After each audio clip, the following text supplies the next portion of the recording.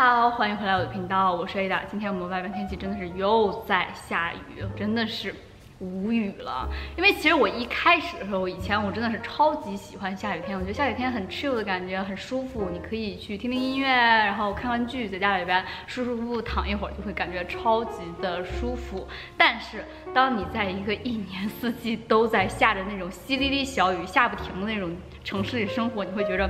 嗯，你的心情都快郁闷了。OK，就说我们今天的主题吧。我们今天的主题就是我最爱的秋冬十支口红。哎，其实因为我在换季的时候，我就经常容易口红慌，就很想去买一些新的口红色号。但其实就是买下来，可能有一些是照片跟你的。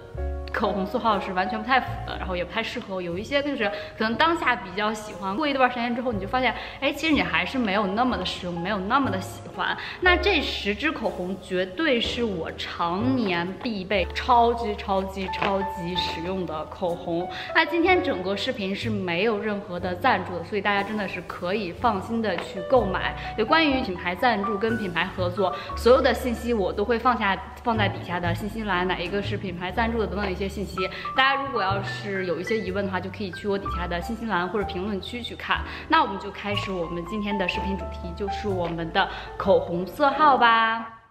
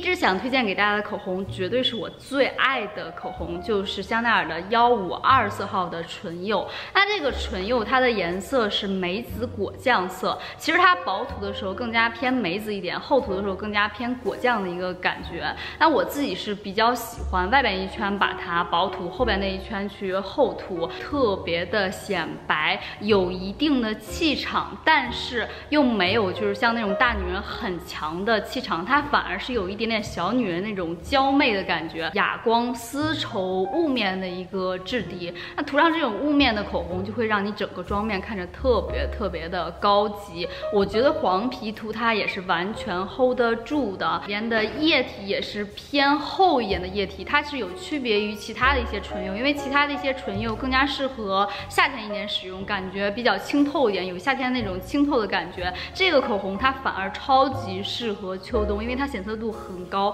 不管是薄涂还是厚涂，你涂它之后都会显色度超级高。沾杯情况，我自己是觉得它还是会沾杯的。我刚涂完它之后会有一定的沾杯，但是呢，它几乎不太需要一天去补涂，因为它不怎么去掉色。第二支唇釉想推荐给大家的是香奈儿的幺五四四号。那这一支口红跟刚才那个口红是一个系列，所以它的质地是完全相同的。那这个颜色是非常非常正的姨妈色，不管是薄涂还是厚涂，它都是很正。的姨妈色，非常有气场的大女人的那种感觉，就给人感觉很高冷、很冷面，然后很酷的一个感觉。当我穿一身黑的时候，我一定需要一个很能 hold 住我自己这一身黑的口红的时候，我就喜欢薄涂它。但是厚涂的时候，我自己是 hold 不住的。我觉得厚涂的时候，它比较适合那种很欧美的那种小伙伴，或者是你本身你就很有那种范儿，很能 hold 得住吃土色那种小伙小伙伴的话，你可以尝试去厚涂它，饱和度啊、质地啊，以及它的香味儿，我都很喜欢。香奈儿的家的香味儿是那种。淡淡的花香中那种味道，没有很浓郁的，给人很劣质，像雅雅诗兰黛的那种口红的味道，我就不是很喜欢。包装我也很喜欢，那它的包装壳是外边是雾面的一个包装盒，就感觉这个口红很高级，而且它做的很短，很短之后就会很方便。第三支想推荐给大家口红是香奈儿的五十八号口红，先来夸一下它的这个外包装，简直太喜欢了。外边是纯黑色亮面的一个口红。的这个外壳有一个小小的香奈儿的一个 logo，那你这样一摁开的时候就是金色的内胆，那黑色配金色真的是超级超级的高级。那包括它底部这个地方都有香奈儿的一个小的一个 logo，真的是特别的高级。整个口红外包装做的太漂亮了，颜色是勃艮第红，勃艮第红就是紫红色跟砖红色混合在一起。其实我觉得它是更加偏砖红的一个感觉，它没有刚才那个幺五四那么深、那么暗黑、那么。气场大的一种颜色，它比幺五四我觉得是浅出两个色号的一个感觉。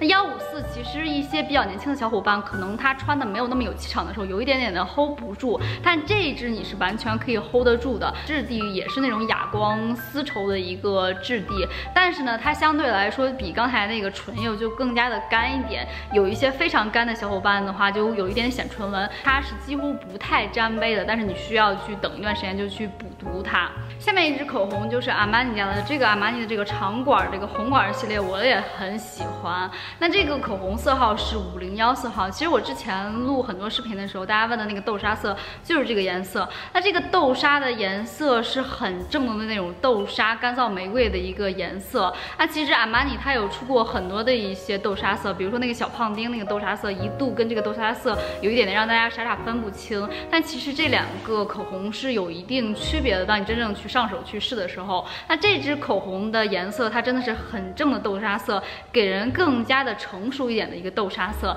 但是小胖丁那个颜色它是豆沙中夹杂了一点浅粉色的一个颜色，那款豆沙色其实更适合比较年轻一点的小伙伴，质地也是这种哑光丝绸的一个质地，那整个膏体都是比较顺滑、比较偏厚重的一种膏体，但是呢也比较好推开的一个膏体。我最喜欢它的点绝对是因为它调的这个颜色，因为其实豆沙色。的口红千千万万，但是真正能找到比较适合你，没有那么惨淡，让你涂上之后感觉没有那么血色的口红还是比较难找的。那这支口红它调的颜色真的是超级适合我们亚洲人的这个肤色，不管是你化妆还是你哪怕不化妆去涂它，都是给人很温柔的一个感觉，不会因为这个是豆沙色就会感觉很惨淡。阿玛尼的四零零色号，这个颜色是超级超级正的那种复古的正红。色，我的正红色的口红很多很多支，但这一支绝对是最爱。质地做的也是那种丝绒的一个质地，给人感觉正红有气场的时候，又有一点小复古的一个感觉。它真的很适合去穿小黑裙去穿它，不管是黄皮还是白皮去涂它，都真的是非常非常的显白，非常的显气场。它的显色度也非常的不错，也不是很拔干，也不是特别的显唇纹。OK，我们今天就到这儿吧，希望你们能喜欢这个视频，我们下期见吧，拜拜。